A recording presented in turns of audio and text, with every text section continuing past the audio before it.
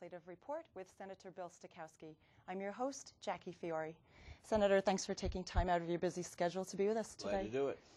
Well, here we are, about three weeks away from the deadline of the state budget. Can you give us an update on what's happening? Well, we've taken apart the governor's budget. Now we're trying to figure out um, and what we're going to do to solve the problem that he's left us. And, and my, by that I mean the governor, for months before he released his budget, talked about no new taxes and fees and holding the line on growth. And here we get the budget, and it's got $2 billion in taxes and fees that we got to try to figure out how to get rid of or how to deal with.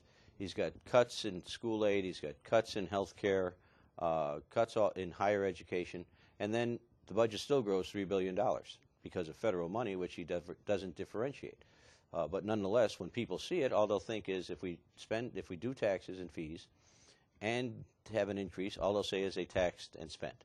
So our problem is to take this puzzle that he put in front of us and try to cut some of the spending, get rid of the taxes and fees, and try to get maybe take money from some parts of the budget that he doesn't and put it in other parts of the budget that we think are better uh, a better use for that money than uh, currently the D Department of Budget thinks is a better use. One big problem uh, is the taxes and fees. You were just at a press conference uh, a little earlier today regarding the syrup tax. Uh, did anything come out of that? Well, at the press conference, it was uh, brought out before I had a chance to speak that a lot of Teamsters are going to lose their job if this tax goes, tax goes forward. Also, I know that at the various uh, soda plants throughout the state, they're talking about cutting back in job losses because the effect of this will be a higher price and people won't buy as much. If they don't buy as much, they won't be making as much, and so there'll be cutbacks. And then we have our restaurants. Uh, in a restaurant, for example, if they use a, a, what they call a gun, they'll pay for the uh, canister of uh, sweetened soda, but what they'll have to do is keep track who got what sweetened soda and who didn't. So when they pour a rum and coke, and even a, a screwdriver and that uses juice, that's a penny an ounce tax. So they got to keep track of that, otherwise they end up in a problem with the tax department. So what we think is that it's a very regressive tax, and it will cost us jobs, which may then more, more than make up for the money that they're gaining by collecting the tax.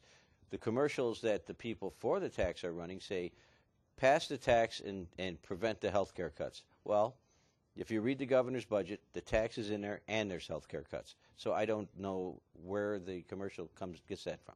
Hmm. And, and on the budget, again, uh, on some of the numbers, you've reached consensus. Uh, the legislature has reached consensus with Division of Budget, is it, on the revenue forecast and what those numbers look like? Well, right it's now? about another, uh, another, almost practically another billion dollars in the hole. So we're dealing with a $9 billion hole that we're trying to close. Uh, once again, it, it's not really the government's fault that we find ourselves in this. This is still the repercussions from all that subprime lending and all the bad loans that finally got called and caught up with all the financial institutions that were in essence selling each other bad paper. And so the, all the governments, actually not only across the country, throughout the world, are dealing with the financial repercussions from that scandal and that problem. The best example I can give people is in another country is the, the uh, country of Ireland went from one of the top new economies to back, back on the bottom all in one year because of the effect of subprime lending and that and that whole scandal. So th that state governments find themselves in that same position is not surprising, and New York finds itself in a difficult spot with the financial industries mainly being based here. That's not surprising at all. Hmm. One of the things that you've been working on with your colleagues is a report that uh, gave, I guess, some suggestions for structural changes to the to the budget. Uh, what what in, what was included in those? Well, we're looking at what we'd like to do is we'd like to uh, bring the state into performance budgeting, which then takes a look at what we're spending money on, how effectively is it being used, and should we continue to spend that much money in that area. We also are looking maybe to establishing an independent budget office so that we take any delay out of the agreement on the revenue forecast out of the picture and makes it more accurate and it's independent. And then also New York has one of the uh, fiscal years that we're only one of four states that doesn't start on July 1st, and we're thinking maybe we should get in line with everybody else. But that that probably be the least important of the three suggestions. But uh, all those things are being considered. And if anybody wanted to look at that report, uh, just for their information, it is online at nysenate.gov. uh, if people wanted to read that report. Uh, also, along these lines, you were just recently appointed to the Government Efficiency Task Force, uh, a very big task, actually, for all of you to come up with solutions as to where we can save money. Well, the the, the task force emanated from the fact that Senator Klein has done some investigation work, and he's only looked at corrections and at uh, um, SUNY, and he found some areas where it, it, it looks like there's some real problems in uh, overtime and some other areas. And so, with that as a backdrop, uh, he got the leader to put together a task force, bipartisan, where we're going to hold hearings on in different areas of the budget, try to go through the whole thing, and find eliminate the waste, uh, cut the fat out of government, and allow us to protect vital services that people count on while eliminating things that aren't necessary. So it's going to be an interesting task force. I believe it'll be a lot of work, but it should be well worth it. Some of the examples that, that we heard were astounding. Uh, for example, uh, part-time gardeners uh, at a community college on Long Island had made over $100,000, was it? in Yeah, I think it was like $160,000 in overtime, which it, it makes you wonder what, what how did they manage to make that much in overtime? Uh, and, and there's other areas where you see very, very large overtime dollars. And you wonder how that happens. And, you know, sometimes you can explain it through maybe they should have more people working and then there wouldn't be so much overtime and it would cost less. But in this case, it doesn't seem to be be the situation, and that's that's the reason why we're having a task force. That's the reason we're going to go delve into all these areas, and hopefully we'll find ways to cut money and save money for the New York State taxpayer. Hmm, we'll follow up definitely on that. That sounds like it could be very productive for, for the taxpayers. Um, if I could switch to legislation, uh, you just passed a bill in the Senate, a bill that you are one of the co-prime sponsors on, uh, that has to do with taxing the IDAs, our indi- industrial development agencies. Could you talk about that a little Yeah, bit? there was a, a tax that snuck in the budget last year, uh, and I say snuck in because obviously we didn't catch it. That was meant to tax the IDAs on some of the benefits that they give out. And the unfortunate part, when taxation uh, looked at it and decided how they were going to collect the tax, they decided they were going to collect it retroactively, which is a terrible idea. It's uh, it's it will stop economic development. It'll hurt IDAs even more than they're being hurt right now. And the fact is, the IDA tool is a local tool for economic development. We've got some things uh, pending in Albany that we should be working harder to pass to clean up the IDAs and, and make them work again so that people can start building. But to set a, a regressive tax on them on top of it is just a bad policy. So the Senate passed a bill. It's passed on to the Assembly, and we're hoping they take action. Uh, in some cases, some of those taxes were actually making the IDAs insolvent. It was using up their entire budget. Well, because it, it's a retroactive tax. You can't go after the people that already got the benefits. You go after the IDA, and it just doesn't make sense. And that's how taxation decided to collect it, and it was more money than these IDAs have on hand. Completely counterproductive to what we're trying to uh, assist the IDAs in their work as well. Exactly.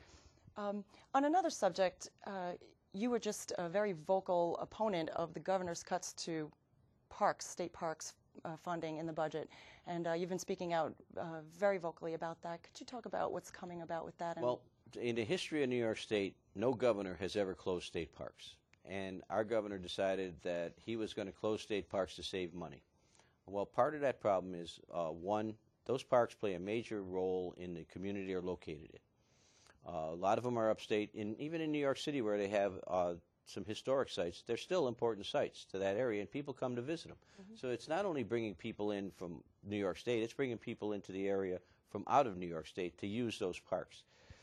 And the other thing we might mention is that there's people that are working, permanent workers. They're part of the Tier 5 uh, package that went last year. So those workers have a no layoff uh, agreement that they signed with the governor, uh, unbeknownst to us, by the way.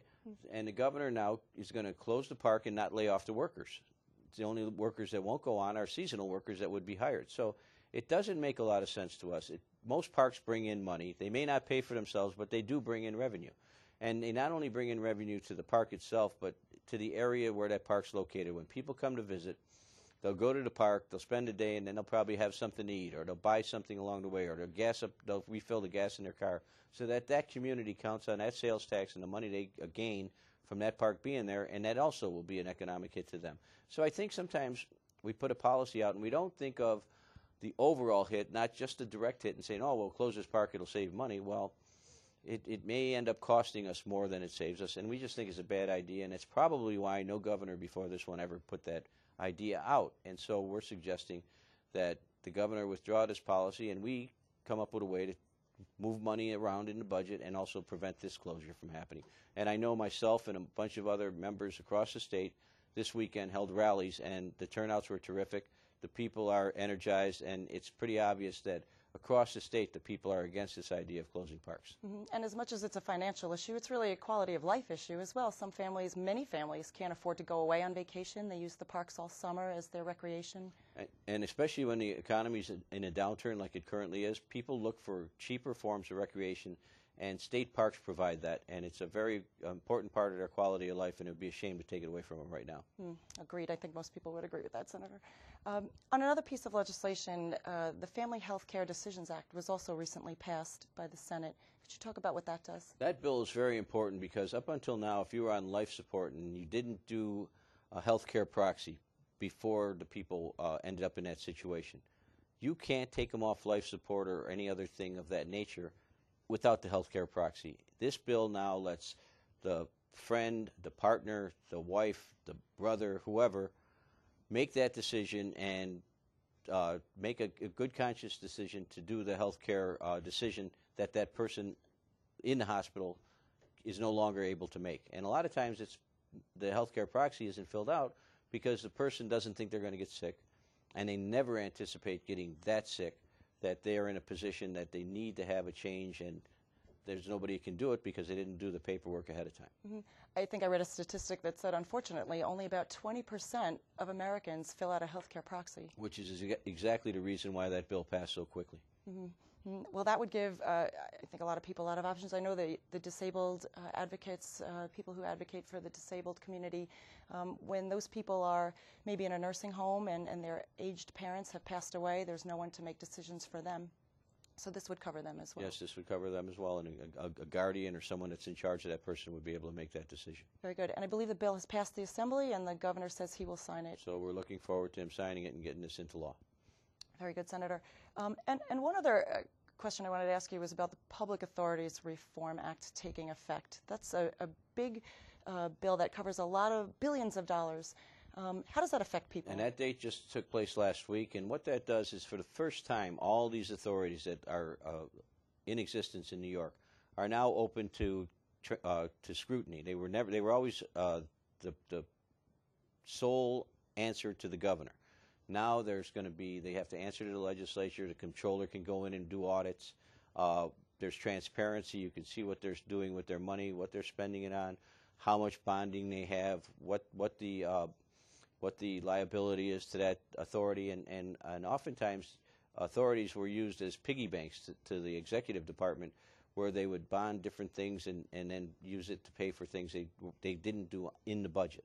So for the first time, there's going to be transparency. We're going to see if we can get rid of some of these authorities because it, as much as you want to sometimes, if they have a fiduciary responsibility, you just can't eliminate them and you can't give their responsibility to somebody else because the bondholders just won't accept that.